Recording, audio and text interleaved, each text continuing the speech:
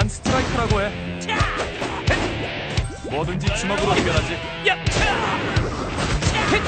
날 막아서려면 각오는 단단히 하라고.